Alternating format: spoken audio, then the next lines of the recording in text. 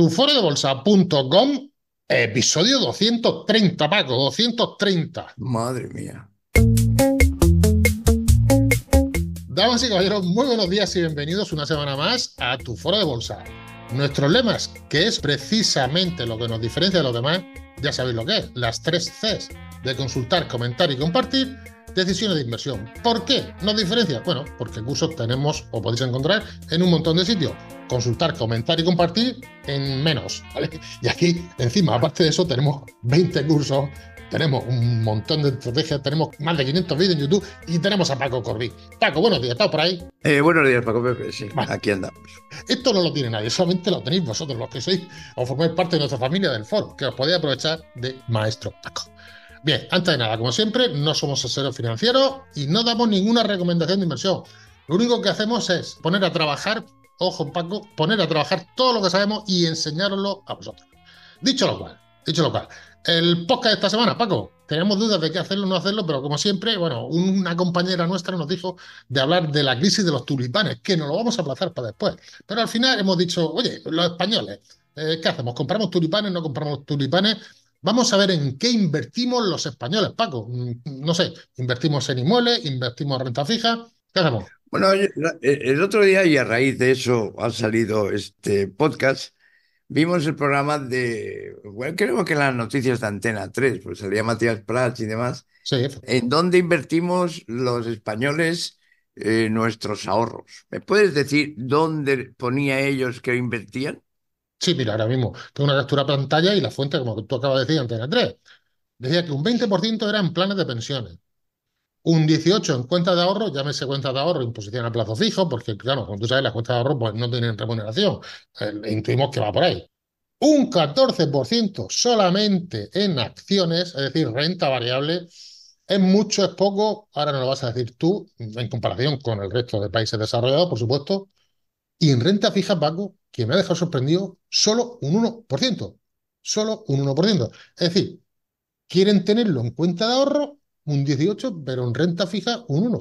No lo sé. Explícanos, Paco, todo esto, qué significa Bien. y lo que tú, mm, digamos, intuyes que debería ser una cartera ideal de ahorro. Porque estos son datos. No, no, yo te voy a decir en qué invertimos los españoles debido a nuestro gran desconocimiento financiero. Fíjate, para tener mediana, no sé, medianos conocimientos, ¿qué quieres hacerlo? ¿A través de libros, de vídeos o de lo que sea? Por lo menos te tienes que comprar cuatro o cinco libros. Sí. Coño, eso vale hoy en día por libros especializados en economía y en tal y cual, valen un, un dinero. Con 180 euros tiene, vamos, formación para aburrir. Pero bueno, eso es publicidad y propaganda. Vamos a lo que hay. Eso es lo que decía Matías Prats. Pero la realidad es que en España el 40% va a bienes raíces, es decir, a inmobiliario, es decir, a la compra de la vivienda. El 30% en depósitos bancarios, como bien tú has dicho. Fondos de inversión, el 15%. Es decir, no salen del banco el 45% y el otro 40% está en hipotecas en el mismo u otro banco. En acciones el 10% y el 5% en pensiones. Fíjate tú la distribución. Es decir, aquí no interesa que la gente sepa. Vale. ¿Por qué? Porque el 85% está gestionado por los mismos. Y si ellos supieran, por lo menos el 45% de ese 85% lo gestionarían ellos directamente. Esa es, como decían aquellos, La fotografía.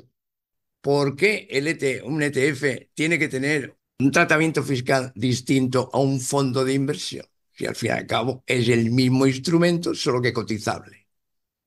Pues porque los ETFs no los crean los mismos que crean los fondos y no los gestionan los mismos que crean los fondos. ¿Y quiénes crean los fondos? Pues eso mismo, como decía aquel. ¿Entiendes? Es decir, no interesa que la gente sepa. Yo soy el que te voy a invertir el dinero. La comodidad, Paco. Pero bueno, independientemente de la, de la comodidad, es que no tengo ni puñetera idea, Paco Pepe. Es que a mí no me han formado en nada, salvo enseñarme en el bachiller el tanto por ciento, No, me han dicho cómo se invierte, qué es una inversión, qué es la bolsa, qué son eh, ETFs, qué son... Bueno, pues eso es lo que hay. El 85% de nuestro capital nos lo gestionan los de siempre, los bancos.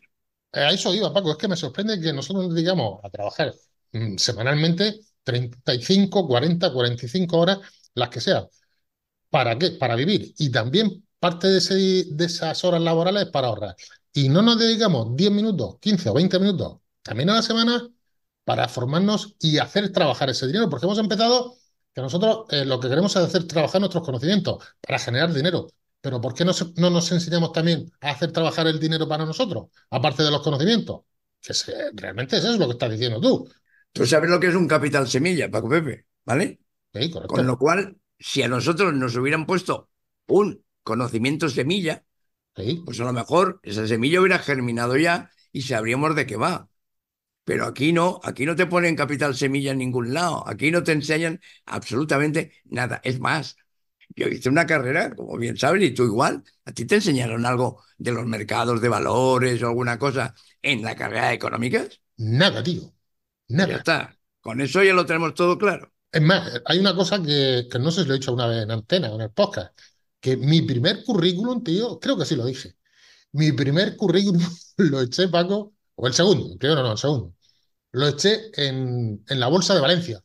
En la Bolsa de Valencia. No me cogieron, no sé por qué. Estaban despistados no sé, no se cogieron.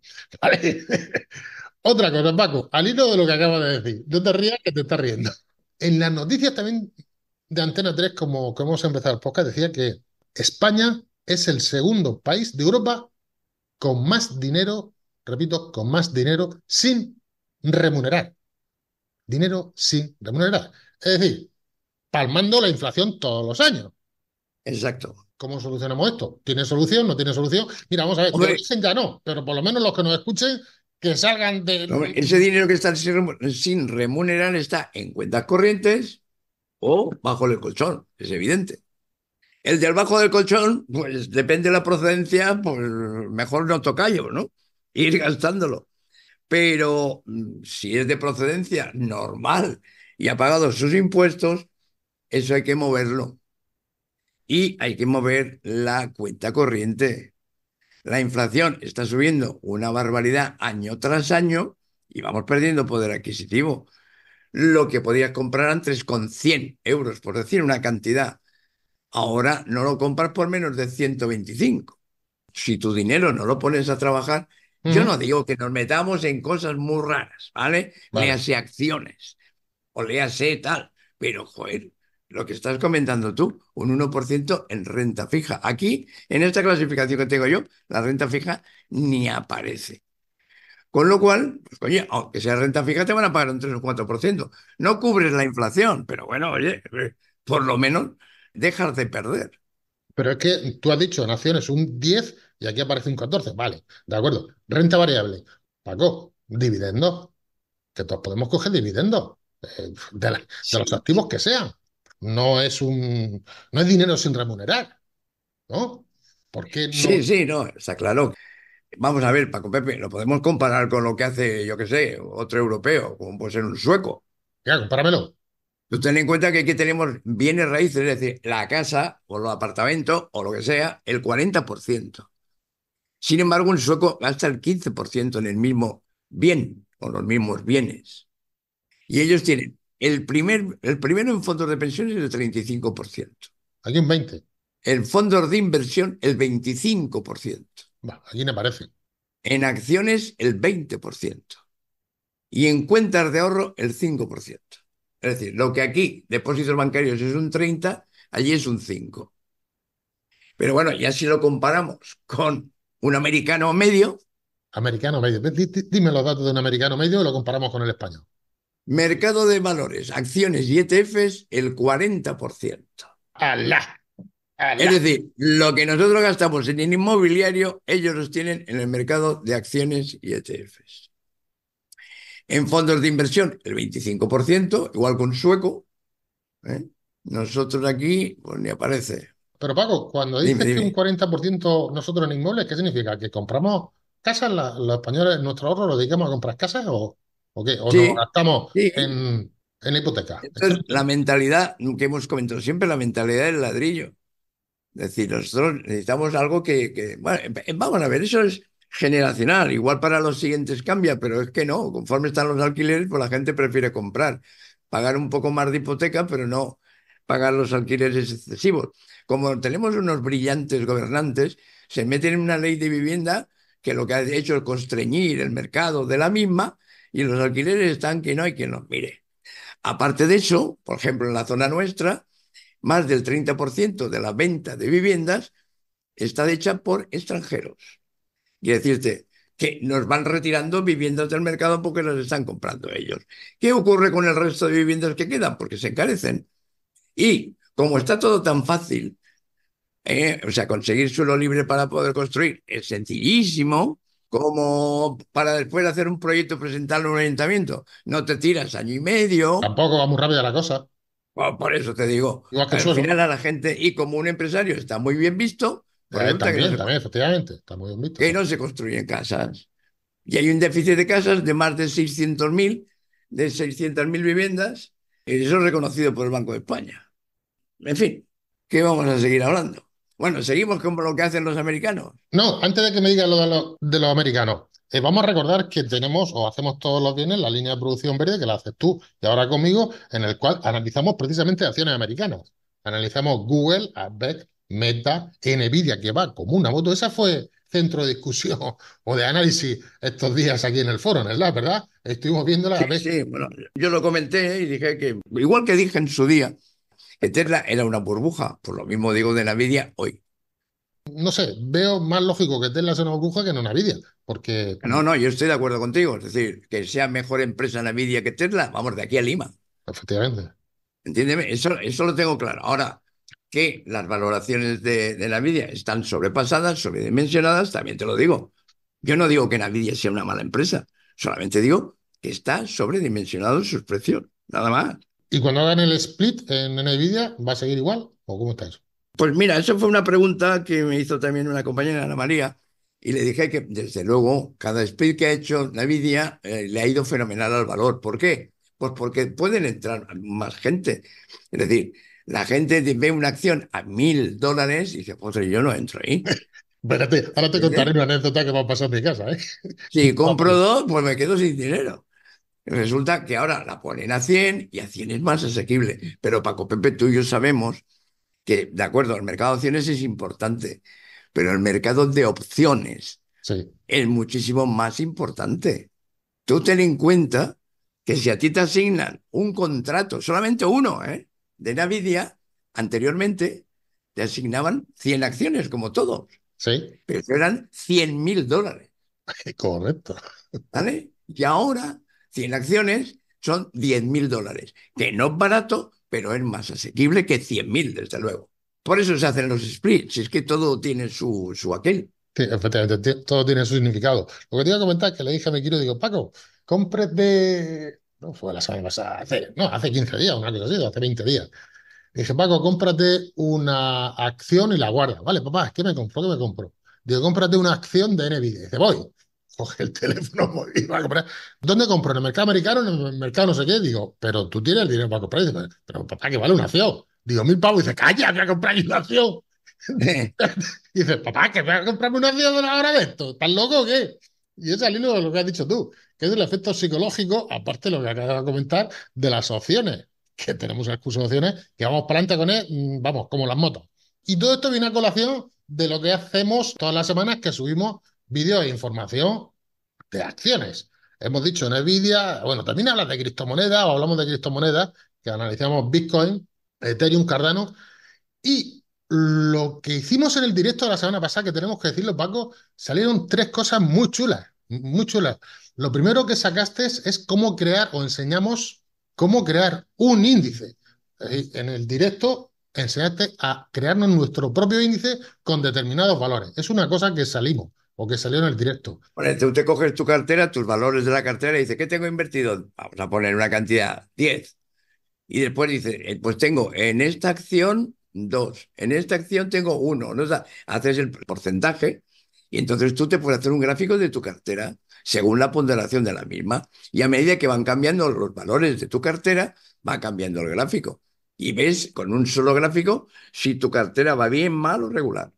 Es más, de hecho, al hilo de lo que está diciendo, puedo prepararme yo una cartera y decir, oye, si hubiese comprado, decir algo, BBV, Santander, Nvidia, Gamesa, un montón de acciones. Voy a hacerme, o voy a ver qué hubiera pasado. Y veo que la tendencia es creciente. Digo, anda, pues si esta cartera es fiable, puedo comprar todas estas acciones que va a funcionar. Es decir, siempre en demo, ¿no? Estamos hablando en demo. Basándonos en histórico, metiéndole los valores, ponderándolos, vemos la línea, la curva que hubiese llevado tanto positiva como negativa en función de la pendiente.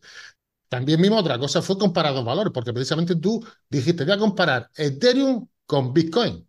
Sí, por ejemplo, pero bueno, es que se puede comparar, yo qué sé, cualquier cosa. Es decir, Apple con precisamente como estábamos hablando, con Tesla.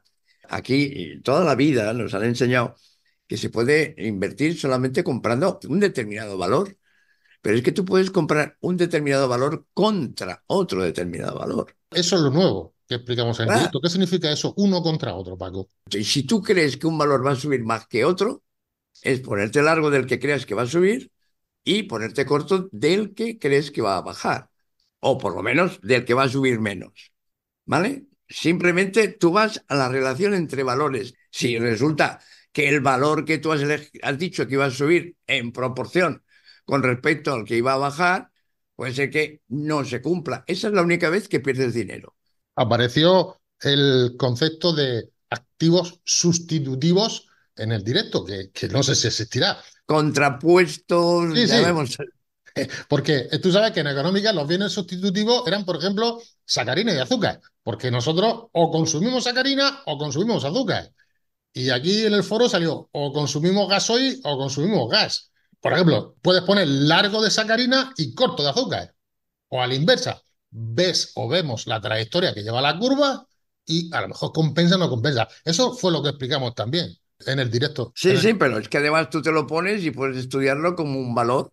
Efectivamente. Con los mismos indicadores que tiene un valor individual. Porque hay que ver relaciones. Muchas veces es bastante menos arriesgado invertir en dos valores, uno largo y otro corto, siempre y cuando tengas claro la relación que van a tener entre ellos. Es que se puede hacer incluso con índices. Voy a suponer, por decir una, una chorrada, digamos así, que va a subir más el índice de Brasil, el Bovespa, que el IBEX me lo pongo largo de Movepa y corto de IBEX. O al revés, va a subir más el IBEX que el CAC francés. Pues me pongo largo del, IBEX y corto del CAC francés. Siempre y cuando esa relación la aciertes, te da lo mismo que suben, que bajan, que, o que se queden laterales. Es decir, siempre y cuando la, la reacción sea que suba más el IBEX que el CAC francés. Y todo esto lo tienen que hacer en demo en Program Time Web, que sabéis todos que es nuestro sponsor, que nos dice que tenéis que llevar cuidado porque al invertir podemos perder todos nuestros ahorros. Y en cuanto a Real Time, también informaros que dándoos de alta en el foro, eh, con los descuentos que tiene Real Time, la cuenta del foro sale gratis. Vale, el foro. Volvamos al foro, Paco. Vamos a recordar que en el foro tenemos básico, intermedio, avanzado y experto. Y ahora estamos subiendo tipo test para la gente que quiera hacer pruebas y saber cómo van sus conocimientos financieros. Resumiendo el podcast de hoy, Paco, yo sé lo que tú haces, evidentemente, porque estás aquí en el foro, pero vamos a imaginarnos que, no sé, no tienes una excesiva formación financiera, estás trabajando, eh, tienes problemas, no sé, los críos, los abuelos, etcétera, etcétera, y bueno, tienes poco tiempo para invertir, ¿vale? O sea, así, tienes poco tiempo para invertir, pero no se has escuchado, has escuchado el podcast nuestro y dices, bueno, tampoco quiero ser tan cómodo, o sea, tampoco voy a coger y voy a hacerlo todo al banco y decir, oye, gestiónamelo, que me parece muy bien ya sabes que no damos ninguna recomendación aquí, pero algún consejito pequeño de cómo distribuir la cartera, cuánto tiempo mirarla, balancearla, cómo balancearla. Lo más fácil es de alta en el foro, que le has dicho, 180 pavos al mes, y en el los demos. Tú ten en cuenta, y tiene que tener en cuenta a los jóvenes de hoy en día, que ellos, las pensiones, que se olviden. Eso es lo primero. Tienen que hacerse su propio fondo de pensiones. Yo no daría a un fondo de, pensiones ni un duro para que me lo gestionase. Así soy. Es decir, no lo daría. ¿Por qué? Porque me puedo hacer yo el mío. Coge los conocimientos. Yo, garantizado, hombre, eso sí que lo podemos garantizar. 180 euros al año. A poquito, ¿eh? Que le dediques, chico, yo qué sé, una hora a la semana. Estamos hablando de mucho tiempo. 52 horas. Pues por lo menos sabes dónde puedes invertir, en qué, cómo, de qué manera. Y cuando te sientes delante de alguien que te proponga una inversión, tener el mínimo conocimiento para decir, oye, eso te lo metes donde te quepa. Eso es una estafa. Oh, qué bonito decir eso. Por lo menos tener criterio. Y el criterio no te lo regalan, tienes que hacértelo. Tener criterio, vaya, mira. Lo estás sembrando esta mañana. Y bueno, y no solo eso, sino también decir, oye, quiero invertir aquí. Lo puedes poner en Slack. Y a ver si nos pasamos a Discord un día de esto, pero bueno, lo puedes poner en Slack. Ya ves qué opinamos, ¿no? ¿O qué? Bueno, lo pones tú, das tus argumentaciones y el resto de compañeros yo mismo te decimos, pues sí, pues no, pues me gusta, no me gusta. Incluso algunos otros pueden aprovechar y decir, oye, me encanta tu idea, voy a hacerlo contigo. Es decir, que eso, amigo mío, no es lo mismo que estar solito y decir, voy a decidir, voy a comprar no sé qué. Y me saldrá bien, y me saldrá mal. Y la mujer al lado, pero tú no tienes ni puñetera idea, si es que esto no sé qué. Oye, el anuncio ese que hacen de invierten en el ladrillo, pues lo mismo. No tienen ni idea. ¿Cuándo has aprendido tú? Otra cosa no diré, pero si le dedican un poquito de tiempo, después de un año con nosotros, por Dios, con nosotros, no con nosotros solos, con nosotros y nuestra familia, porque hay muchos que aportan muchísimo, no solamente nosotros. Bueno, Paquico, ya para terminar, ¿vale? Tengo que dar las gracias a un compañero del foro, para que esto que sepan quiénes son, los que nos escuchan la primera vez, que sepan quiénes son los del foro. Es Julián, un compañero de, que está con nosotros ya pues, bastante tiempo. Paco, ¿te importa leer lo que ha puesto en las reseñas de Google? Que tenemos algunas por ahí puestas, aparte de la de nuestra familia. La gente es muy buena con nosotros. Pero bueno, lo leo, claro que sí. La suerte quiso que una tarde me saltase aquel podcast. Tras un tiempo escuchándolos, decidí unirme a ellos. Es una manera amena, sencilla y económica de adquirir los conocimientos necesarios para tus inversiones. Es que viene a colación de lo que estamos hablando hoy, precisamente. Sí, justo lo que comentaba hace cinco minutos. Tú te pones el ritmo del aprendizaje, son cientos de podcasts, vídeos, webinars, cursos y demás material didáctico para lograr entender este mundillo. De los profesores, solo decir que no son profesores, son maestros, muy amables y cercanos, estando ahí 24 barra 7. Y la máxima de esta familia, porque no es un grupo, es una familia, son las tres Cs, consultar, comentar, compartir decisiones de inversión. Yo pienso que si no existiesen, habría que inventarlos. Gracias, Julián. Muchas gracias, Julián. Vamos a ver, luego le mandas tú el bici a Julián o, o, se lo paso yo. Escucha, más alto no podemos dejar este podcast, ¿vale? Estos somos nosotros, esto es el foro y aquí estamos para lo que necesitáis. Paquico, un abrazote. Otro. Hasta luego, máquina, hasta luego. Hasta luego.